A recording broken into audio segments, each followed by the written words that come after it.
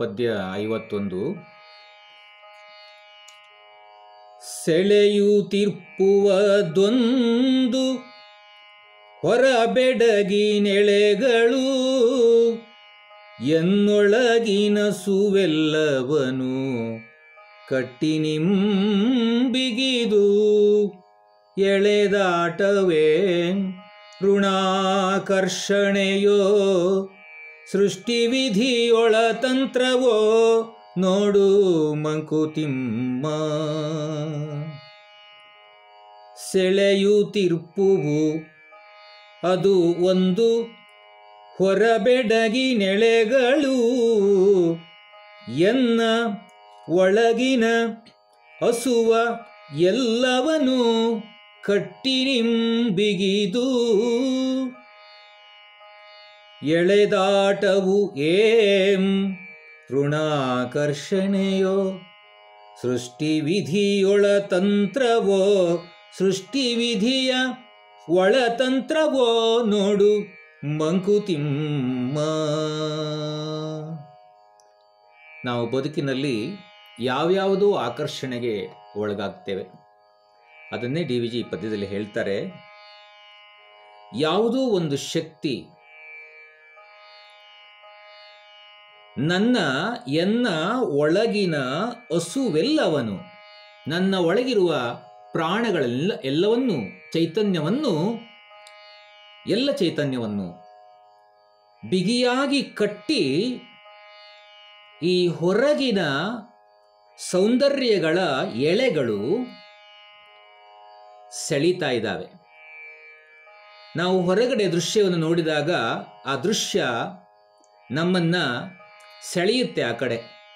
ಒಂದು ಹೂವಾಗಿರಲಿ, ಒಂದು ಚಿಗುರಾಗಿರಲಿ, ಈ ಹೊರಗಿನ ದೃಶ್ಯಗಳನ್ನು ನೋಡಿದಾಗ ಅದರ ಸೆಳೆತಕ್ಕೆ ಒಳಗಾಗ್ತೇವೆ. ಯಾವುದೋ ಒಂದು ಶಕ್ತಿ ನಮ್ಮ ಒಳಗಿನ ಹಸು ಅಂದರೆ ಪ್ರಾಣ, ಪ್ರಾಣವನ್ನು ಸರಿಯಾಗಿ ಬಿಗಿಯಾಗಿ ಕಟ್ಟಿ ಆ ಕಡೆ ಸೆಳೆಯುವಂತೆ ಮಾಡಿರುತ್ತೆ. ಅದೇನು ಎಳೆದಾಟ? ಆ ಸೆಳೆದಾಟ ಏನದು? ಯಾಕಾಗಿ ಆ ಆ ರೀತಿಯಲ್ಲಿ ನಾವು ಸೆಳೆಯಲ್ಪಡ್ತೇವೆ. ಋಣಾಕರ್ಷಣೆಯೋ ಅದಕ್ಕೆ ಕಾರಣ ಋಣದ ಆಕರ್ಷಣೆಯೋ, ನಾವು ಪೂರ್ವ ಜನ್ಮದಲ್ಲಿ ಪಡೆದ ಕರ್ಮದ ಫಲದಿಂದಾಗಿ ಆ ರೀತಿಯಲ್ಲಿ ನಾವು ಆಕರ್ಷಿತರಾಗ್ತೇವೆಯೋ, ಅಥವಾ ಸೃಷ್ಟಿಯ ನಿಯಮದ ಒಳತಂತ್ರವೋ, ಒಳ ಉಪಾಯವೋ, ಸೃಷ್ಟಿಯೇ ಆ ರೀತಿಯಾಗಿ ನಮಗೆ ಪ್ರಚೋದನೆ ನೀಡುತ್ತೋ, ಅದನ್ನು ಪರೀಕ್ಷಿಸಿ ನೋಡು. ಎಂಬುದಾಗಿ ಡಿ ವಿ ಜಿ ಪದ್ಯದಲ್ಲಿ ಹೇಳ್ತಾರೆ. ಜ್ಞಾನ ಪ್ರಮಾಣವೇ ಅಂತ ಹಿಂದೆ ಒಂದು ಪದ್ಯದಲ್ಲಿ ಆ ಭಗವಂತನನ್ನ ನಾವು ಹೇಗೆ ತಿಳ್ಕೊಳ್ಬೇಕು, ಜ್ಞಾನದ ಮೂಲಕವೇ ತಿಳ್ಕೋಬೇಕೆ ಅಂತ ಪ್ರಶ್ನೆ ಮಾಡಿದ್ರು. ಅದಕ್ಕೆ ಇನ್ನು ಮುಂದೆ ಉತ್ತರವನ್ನ ಸೂಕ್ಷ್ಮವಾಗಿ ಕೊಡ್ತಾ ಹೋಗ್ತಾರೆ. ಗಗನ ನೀಲಿಮೆಯನ್ನ ಕಣ್ಗೆ ಸ್ವಗವೀವಂತೆ ಮುಗಿವ ತರಣಿಯ ರಕ್ತ ಹಿತವೆನಿಸಬೇಕೋ? ಸ್ವಗದ ಮೂಲವದೆಲ್ಲಿ ನೀಲದೊಳೋ ಕೆಂಪಿನೊಳೋ ಬಗೆವೆನ್ನ ಮನಸ್ಸಿನೊಳೋ ಮಂಕುತಿಮ್ಮ? ಗಗನ ನೀಲಿಮೆಯು ಎನ್ನ ಕಣ್ಗೆ ಸ್ವಗವ ಈವಂತೆ. ಮುಗಿವ ತರಣಿಯ ರಕ್ತ. ಹಿತವೆನಿಸದು ಏಕೋ. ಸ್ವಗದ ಮೂಲವು ಅದೆಲ್ಲಿ? ನೀಲದೊಳೋ?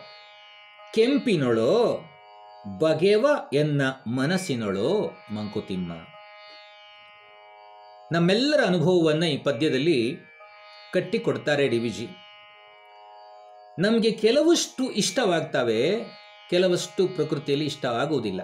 ಅದನ್ನೇ ಹೇಳ್ತಾರೆ, ಗಗನ ನೀಲಿಮೆಯು ಎನ್ನ ಕಣ್ಗೆ ಸೊಗವಿವಂತೆ. ಆಕಾಶದ ನೀಲಿ ಬಣ್ಣ ನಮ್ಮ ಕಣ್ಣುಗಳಿಗೆ ಆನಂದವನ್ನ ನೀಡುತ್ತೆ, ಸುಖವನ್ನು ನೀಡುತ್ತೆ. ಆದರೆ ಮುಗಿವ ತರಣಿಯ ರಕ್ತ ಹಿತವೆನಿಸದು ಏಕೋ.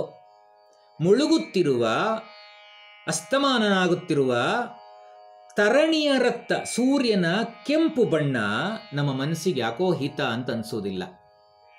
ನೀಲಿ ನಮ್ಮ ಮನಸ್ಸಿಗೆ ಹಿತವಾದಷ್ಟು ಕೆಂಪು ಹಿತವಾಗುವುದಿಲ್ಲ.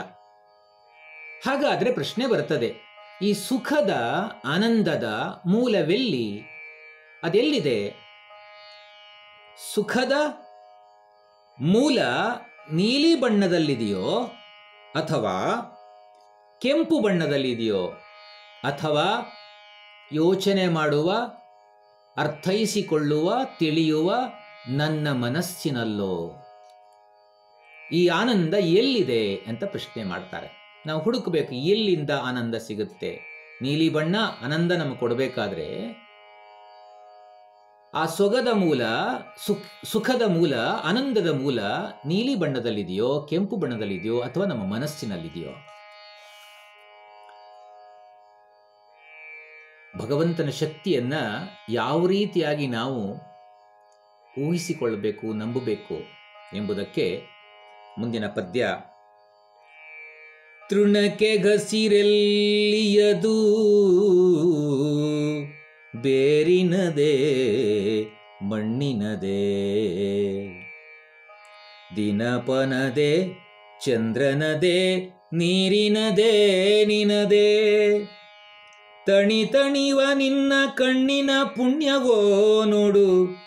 ಗುಣಕ್ಕೆ ಕಾರಣ ಒಂದೇ, ಮಂಕುತಿಮ್ಮ.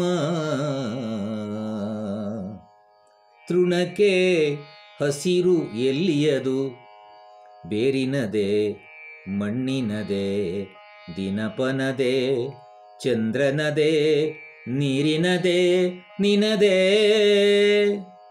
ತಣಿ ತಣಿವ ನಿನ್ನ ಕಣ್ಯ, ಕಣ್ಣಿನ ಪುಣ್ಯವೋ ನೋಡು. ತಣಿ ತಣಿವ ನಿನ್ನ ಕಣ್ಣಿನ ಪುಣ್ಯವೋ ನೋಡು. ಗುಣಕ್ಕೆ ಕಾರಣವು ಒಂದೇ ಮಂಕುತಿಮ್ಮ. ನಾವು ಹುಲ್ಲನ್ನು ನೋಡ್ತೇವೆ. ಹುಲ್ಲಿನಲ್ಲಿರುವ ಹಸಿರು ಬಣ್ಣ ನಮಗೆ ತುಂಬ ಇಷ್ಟ ಆಗುತ್ತೆ. ಆ ಹಸಿರು ಬಣ್ಣ ಎಲ್ಲಿಂದ ಬಂತು ಅಂತ ಪ್ರಶ್ನೆ ಮಾಡ್ತಾರೆ. ಹುಲ್ಲಿಗೆ ಹಸಿರು ಬಣ್ಣ ಹೇಗೆ ಬಂತು? ಬೇರಿನಿಂದ ಹಸಿರು ಬಣ್ಣ ಬಂತೋ? ಅಥವಾ ಮಣ್ಣಿನಿಂದ ಹಸಿರು ಬಂತೋ? ಸೂರ್ಯನಿಂದ ಬಂತೋ? ಚಂದ್ರನಿಂದ ಬಂತೋ? ನೀರಿನಿಂದ ಬಂತೋ? ಅಥವಾ ನಿನ್ನಿಂದಾಗಿ ಬಂತೋ? ಯಾವುದನ್ನು ನಾವು ಕಲ್ಪನೆ ಮಾಡಿಕೊಳ್ಳೋ ಹಾಗಿಲ್ಲ. ಯಾವುದರಿಂದ ಬಂತು ಅಂತ ಅರ್ಥೈಸಿಕೊಳ್ಳುವ ಹಾಗಿಲ್ಲ ನಾವು. ಕೊನೆಗೆ ಹೇಳ್ತಾರೆ, ತಣಿ ತಣಿವ ನಿನ್ನ ಕಣ್ಣಿನ ಪುಣ್ಯವೋ ನೋಡು. ನಿನಗೆ ಆ ಕಾಲದಲ್ಲಿ ಆ ಹುಲ್ಲನ್ನು ನೋಡಿದ ತಕ್ಷಣ ಕಣ್ಣಿಗೆ ತಂಪಾಗುತ್ತಲ್ಲ? ಕಣ್ಣಿಗೆ ಖುಷಿ ಆಗುತ್ತಲ್ಲ? ನಿನ್ನ ಕಣ್ಣಿನ ಪುಣ್ಯ ಅದು. ಗುಣ ಹೇಗೆ ಬಂತು ಅಂತ ನಮಗೆ ತಿಳಿಸಕ್ಕೆ ಆಗಲ್ಲ, ತಿಳಿಯಕ್ಕಾಗಲ್ಲ. ಕೊನೆಗೆ ಪ್ರಶ್ನೆ ಮಾಡ್ತಾರೆ, ಗುಣಕ್ಕೆ ಕಾರಣ ಒಂದೇ? ಒಂದು ಗುಣ ಬರಬೇಕಾದ್ರೆ ಅದು ಒಂದೇ ಒಂದು ಕಾರಣದಿಂದ ಬಂದಿರುವುದಿಲ್ಲ ಒಟ್ಟಾರೆಯಾಗಿ ಬಂದಿರ್ಲಿಕ್ಕೆ ಸಾಕು. ಬೇರಿಂದ ಹಸಿರು ಬಣ್ಣ ಬಂತೋ? ಬೇರಿಗೆ ಹಸಿರು ಬಣ್ಣ ಇಲ್ಲ. ಮಣ್ಣಿನಿಂದ ಮಣ್ಣಿಗೂ ಹಸಿರು ಬಣ್ಣ ಇಲ್ಲ. ಸೂರ್ಯನಿಗಿಲ್ಲ, ಚಂದ್ರನಿಗಿಲ್ಲ, ನೀರಿಗಿಲ್ಲ. ನಿನ್ನದು ಕೂಡ ಕೊಡುಗೆ ಅಲ್ಲ. ಹಸಿರು ಬಣ್ಣ ಎಲ್ಲಿಂದ ಬಂತು? ಇದನ್ನೆಲ್ಲ ವಾದ ಮಾಡಿ ತಿಳ್ ತಿಳ್ಕೊಳ್ಳೋಕ್ಕಾಗಲ್ಲ ನಿನ್ನ ಕಣ್ಣಿನ ಪುಣ್ಯ ಅಂತ ತಿಳ್ಕೋ. ಗುಣ ಒಂದೇ ಒಂದು ಕಾರಣದಿಂದ ಬರುವುದಿಲ್ಲ, ನಾನಾ ಕಾರಣಗಳಿರ್ತವೆ ಅಂತ ಈ ವಿಜಯ ಪದ್ಯದಲ್ಲಿ ಹೇಳ್ತಾರೆ ಫಲವಿಲ್ಲ ಕಾರ್ಯ ಕಾರಣವಾದದಿಂ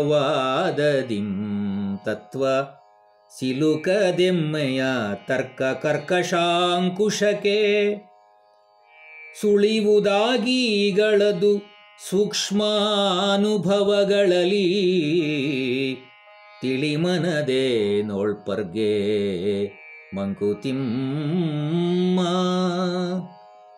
ಫಲವೂ ಇಲ್ಲ. ಕಾರ್ಯಕಾರಣವಾದದಿಂ. ತತ್ವ ಸಿಲುಕದು ಎಮ್ಮಯ. ತರ್ಕ ಕರ್ಕಶಾಂಕುಶಕ್ಕೆ ಸುಳಿವುದು ಆಗೀಗಳ್ ಅದು. ಸೂಕ್ಷ್ಮಾನುಭವಗಳಲ್ಲಿ. ತಿಳಿಮನದೆ ನೋಳ್ಪರ್ಗೆ ಮಂಕುತಿಮ್ಮ. ತತ್ವ, ಭಗವಂತನ ತತ್ವ, ಪರಸತ್ವ, ಪರತತ್ವ. ಹೇಗೆ ನಮ್ಮ ಅನುಭವಕ್ಕೆ ಬರುತ್ತೆ? ಕಾರ್ಯಕಾರಣವಾದಗಳಿಂದ ಪ್ರಯೋಜನ ಇಲ್ಲ. ಪ್ರತಿಯೊಂದು ಕಾರ್ಯದ ಹಿಂದೆ ಕಾರಣ ಇರ್ತದೆ. ಒಂದು ಮಡಕೆ ಆಗಬೇಕಾದ್ರೆ ಮಡಕೆ ಮಾಡಿದವ ಒಬ್ಬ ಕುಂಬಾರ ಇರ್ತಾನೆ ಮಣ್ಣಿರ್ತದೆ ಅದಕ್ಕೆ ಬೇಕಾದ ಎಲ್ಲ ಉಪಕರಣಗಳಿರ್ತವೆ ಕಾರ್ಯಕಾರಣವಾದ. ಆದರೆ ಪರತತ್ವವನ್ನು ಕಾರ್ಯಕಾರಣವಾದದಿಂದ ತಿಳಿಲಿಕ್ಕೆ ಸಾಧ್ಯ ಇಲ್ಲ.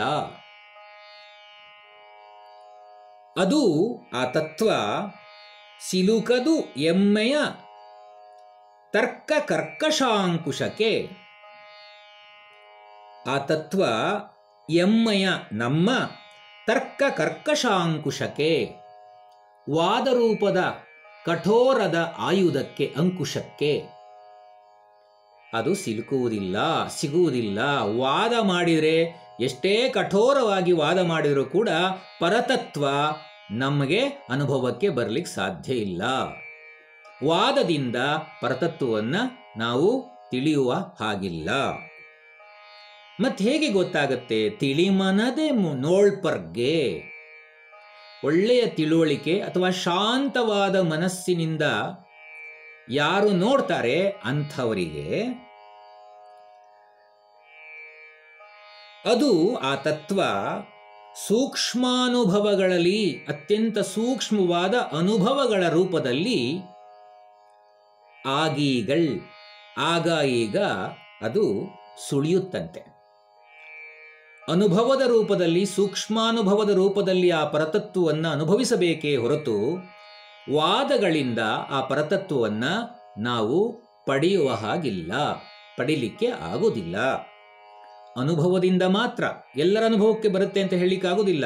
ಶಾಂತವಾದ ಮನಸ್ಸಿನಿಂದ, ಅತ್ಯಂತ ತಿಳುವಳಿಕೆಯುಳ್ಳ ಮನಸ್ಸಿನಿಂದ ಯಾರು ನೋಡ್ತಾರೆ ಅವರ ಮನಸ್ಸಿಗೆ ಅತ್ಯಂತ ಸೂಕ್ಷ್ಮಾತಿ ಸೂಕ್ಷ್ಮ ಅನುಭವಗಳ ರೂಪದಲ್ಲಿ ಆಗೀಗ ಸುಳಿದು ಹೋಗುತ್ತೆ ಆ ತತ್ವ. ಕುರುಡನಿನ ಚಂದ್ರರನು ಕಣ್ಣಿಂದ ಕಾಣುವನೇ. ಅರಿಯುವಂ ಸೋಂಕಿಂದೆ ಬಿಸಿಲು ತಣಿವುಗಳ. ನರನು ಮಂತಯೆ ಮನಸ್ಸಿನನುಭವದಿ ಕಾಣುವನು.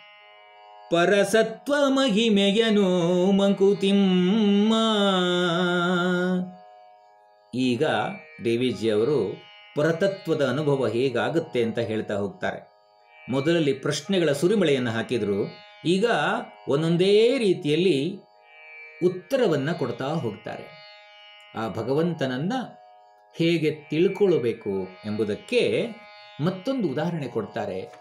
ಕುರುಡನಿನ ಚಂದ್ರರನು ಕಣ್ಣಿಂದ ಕಾಣುವನೇ. ಅರಿಯುವಂ ಸೋಂಕಿಂದೆ ಬಿಸಿಲು ತಣಿವುಗಳ ಕುರುಡನು ಇನಚಂದ್ರರನು ಕಣ್ಣಿಂದ ಕಾಣುವನೆ.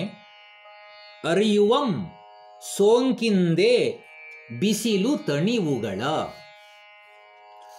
ನರನುಂ ಅಂತೆಯೇ ಮನಸ್ಸಿನ ಅನುಭವದಿ ಕಾಣುವನು ಪರಸತ್ವ ಮಹಿಮೆಯನು ಮಂಕುತಿಮ್ಮ. ಇದು ಕುರುಡನ ಉದಾಹರಣೆ ತಗೊಳ್ತಾರೆ. ಕುರುಡ ಕಣ್ಣ ಕಾಣೋದಿಲ್ಲ ಅವನಿಗೆ. ಅವನು ಇನಚಂದ್ರರನು. ಇನ ಅಂದ್ರೆ ಸೂರ್ಯ, ಚಂದ್ರ ಅಂದ್ರೆ ಚಂದ್ರ, ಸೋಮ. ಕುರುಡನಿನ ಚಂದ್ರರನು ಕಣ್ಣಿಂದ ಕಾಣುವನೇ. ಅವನಿಗೆ ಕಣ್ಣು ಕಾಣಿಸೋದಿಲ್ಲ. ಸೂರ್ಯನನ್ನಾಗಲಿ ಚಂದ್ರನನ್ನಾಗಲಿ ಕಣ್ಣಿಂದ ಕಾಣ್ತಾನ. ಆದರೆ ಅವನಿಗೆ ಗೊತ್ತಾಗೋದಿಲ್ವಾ? ಅರಿಯುವಂ ಸೋಂಕಿಂದೆ ಬಿಸಿಲು ತಣಿವುಗಳ. ಬಿಸಿಲು ತಾಕಿದಾಗ ಸೂರ್ಯನನ್ನ ಅವನು ಮನಸ್ಸಿಗೆ ತಂದುಕೊಳ್ತಾನೆ. ತಂಪಾದ ಬೆಳದಿಂಗಳ ಅನುಭವವಾದಾಗ ಚಂದ್ರ ಇದ್ದಾನೆ ಅಂತ ತಿಳ್ಕೊಳ್ತಾನೆ. ಅರಿಯುವಂ ಸೋಂಕಿಂದೆ ಬಿಸಿಲು ತಣಿವುಗಳ. ಸೋಂಕಿಂದ, ಅಂದರೆ ತಾಕುವಿಕೆಯಿಂದ, ಸ್ಪರ್ಶದಿಂದ, ಕಿರಣಗಳ ಸ್ಪರ್ಶದಿಂದಾಗಿ ಬಿಸಿಲು ಮತ್ತೆ ತಂಪು ಇವುಗಳಿಂದಾಗಿ ಅವನು ಅರ್ಥ ಮಾಡ್ಕೋತಾನೆ ಸೂರ್ಯನನ್ನ ಮತ್ತೆ ಚಂದ್ರನನ್ನ. ಇದೊಂದು ಉದಾಹರಣೆ. ಹಾಗೆಯೇ ನರನುಂ ಅಂತೆಯೇ ಮನುಷ್ಯನೂ ಕೂಡ ಹಾಗೆಯೇ ಮನಸ್ಸಿನ ಅನುಭವದಿ ಕಾಣುವನು. ಮನಸ್ಸಿನ ಅನುಭವದಿಂದ ಕಾಣ್ತಾನೆ. ಏನನ್ನ? ಪರಸತ್ವ ಮಹಿಮೆಯನು. ಆ ಪರಬ್ರಹ್ಮದ ಪರವಸ್ತುವಿನ ಪರಸತ್ವದ ಮಹಿಮೆಯನ್ನ ಮನಸ್ಸಿನ ಅನುಭವದಿಂದ ಅವನು ಕಂಡುಕೊಳ್ತಾನೆ. ಅನುಭವದ ಮೂಲಕ ಆ ಪರಸತ್ವವನ್ನ, ಪರತತ್ವವನ್ನ ಅರಿಯಬೇಕು. ಹೇಗೆ ಕುರುಡ ಅನುಭವದಿಂದ ಸೂರ್ಯಚಂದ್ರನನ್ನ ಕಾಣ್ತಾನೋ, ಬಿಸಿಲಿನಿಂದ ತಂಪಿನಿಂದ ಅನುಭವಕ್ಕೆ ತಂದುಕೊಳ್ತಾನೋ ಹಾಗೆಯೇ ಪರಸತ್ವವನ್ನು ಮನುಷ್ಯ ಅನುಭವದಿಂದ ಕಾಣಬೇಕು ಎಂಬುದನ್ನು ಡಿ ವಿ ಜಿಯವರಲ್ಲಿ ಸ್ಪಷ್ಟಪಡಿಸ್ತಾ ಇದ್ದಾರೆ.